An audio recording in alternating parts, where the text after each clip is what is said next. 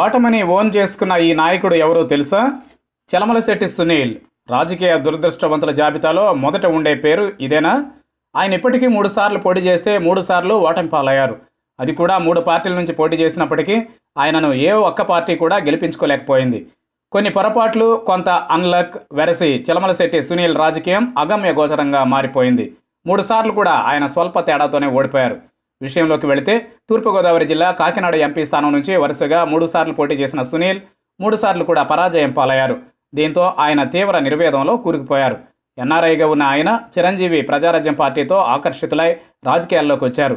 రెండు వేల తొమ్మిదిలో ప్రజారాజ్యం పార్టీ రెండు వేల పద్నాలుగులో వైఎస్ఆర్సీపీ రెండు వేల పంతొమ్మిదిలో టీడీపీ. ఇలా మూడు ఎన్నికలు మూడు పార్టీలు అన్నట్లుగా పోటీ చేసిన చలమలశెట్టి సునీల్ ఓటమిని జీర్ణించుకోలేకపోతున్నారు. రాజకీయాల్లో గెలుపు ఓటమిలో సహజమే అయినా మూడు ఎన్నికల్లో వరుస ఓటముల తర్వాత పార్లమెంటు నియోజకవర్గంలో పర్యటించే సాహసం చేయలేకపోతున్నారు. ఇటీవల వైసీపీ వేవ్లో మూడవసారి కూడా స్వల్ప తేడాతో ఓడిపోవడంతో తనంత దురదృష్టవంతుడు ఎవరూ ఉండరని ఆయన కన్నీళ్ళు కూడా పెట్టుకున్నారు. వాస్తవానికి సునీల్ హైదరాబాద్లో ఉన్నప్పటికీ కాకినాడ ఎల్బీ నగర్లో పెద్ద బిల్డింగ్ అద్దెకు తీసుకుని పార్టీ కార్యక్రమాలు నిర్వహించేవారు. అటువంటి భవనం ఇప్పుడు బోసిబోయి కనిపిస్తోంది. ఎన్నికల ముందు రావడం ఓటమి తర్వాత కనిపించకుండా పోవడం షరా మామూలేనని అంటున్నారు.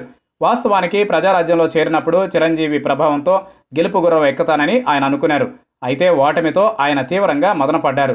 ఆ తర్వాత పార్టీనే ఏకంగా కాంగ్రెస్లో విలీనం చేయడంతో వైసీపీలోకి జంప్ చేసేశారు. రెండు వేల పద్నాలుగులో ఆయన వైసీపీ నుంచి వరుసగా రెండోసారి ఎంపీగా పోటీ చేసి అప్పుడు కూడా ఓటమి పాలయ్యారు. ఈ ఎన్నికల్లో చలమలశెట్టి సునీల్ నాడు టీడీపీ నుంచి పోటీ చేసిన తోట నరసింహం చేతిలో పదమూడు వేల ఓట్ల స్వల్ప తేడాతో ఓడిపోయారు. ఈ ఎన్నికలకు ముందు వరకు వైసీపీలో ఉన్న సునీల్ వైసీపీలో ఉండాలా బయటకు రావాలా అని చాలా రోజులు డైలమాలో ఉన్నారు. ఈ దఫా ఏప్రిల్లో జరిగిన ఎన్నికల సమయంలో వైసీపీ తరఫున పోటీ చేయాల్సిన చలమలశెట్టి సునీల్ తన సోదరుడికి టీడీపీ అధినేత చంద్రబాబు కుమారుడికి మధ్య ఉన్న పరిచయం కారణంగా అనూహ్యంగా టీడీపీ తీర్థం పుచ్చుకున్నారు.